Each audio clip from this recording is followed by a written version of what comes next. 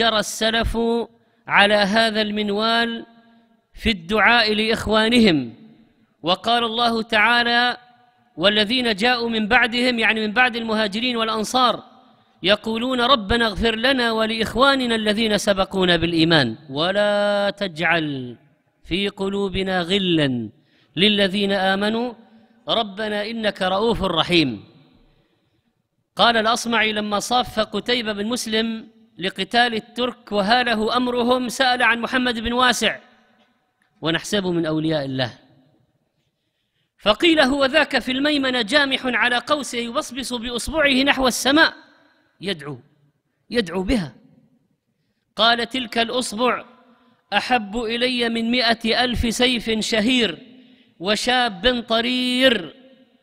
ومن عباد الله من لو أقسم على الله لابره أشعث أغبر. مدفوع بالأبواب لا يؤبه له. لكن دعاء مستجاب. ولذلك النبي عليه الصلاة والسلام قال أبغوني الضعفاء. تنصرون وترزقون بضعفائكم.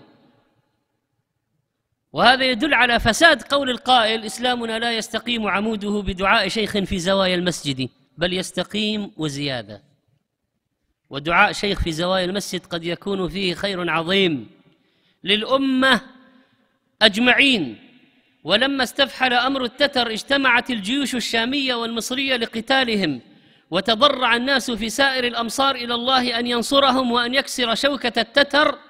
فكانت الأخبار تأتي بنصر المسلمين وأن السيف يعمل في رقاب التتر ليل نهار وأنهم هربوا وفروا واعتصموا بالجبال والتلال ولم يسلم منهم إلا القليل. فاستقرت خواطر الناس وتباشروا لهذا الفتح العظيم والنصر المبارك كما قال ابن كثير رحمه الله يروي أخبار المعركة.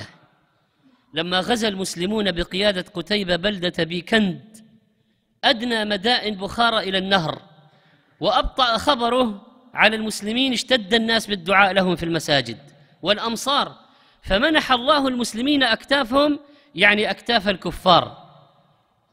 قال بقيه كنا مع إبراهيم في البحر وهبت ريح وهاجت الأمواج واضطربت السفينة وبكى الناس. فقلنا يا أبا إسحاق ما ترى الناس فيه؟ فرفع رأسه وقد أشرفنا على الهلاك. فقال يا حي حين لا حي ويا حي قبل كل حي ويا حي بعد كل حي يا حي يا قيوم قد أريتنا قدرتك فأرنا عفوك. فهدأت السفينة من تلك الساعة.